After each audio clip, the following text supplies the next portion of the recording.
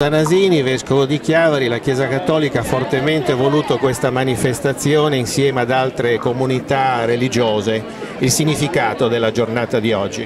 Ma per essere sinceri devo dire che il primo impulso è partito dalla comunità musulmana di Mezzanico,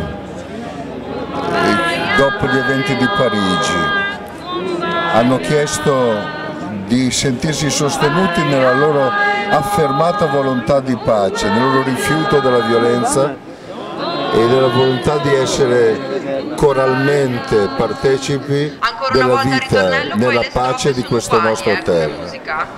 Ecco, a pochi giorni dalla giornata della memoria, una iniziativa che vede accomunati rappresentanti di varie religioni, fedeli di varie religioni nel nome della pace.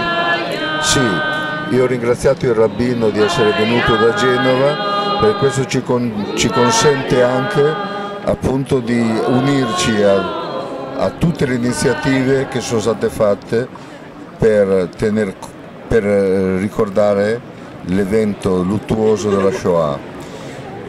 E, credo che siano tutti eventi, quelli, quelli violenti, quelli contro l'umanità, che vanno insieme deprecati per affermare positivamente la volontà di rispetto dell'uomo e nella crescita della pace. Molte grazie, allora buona pace.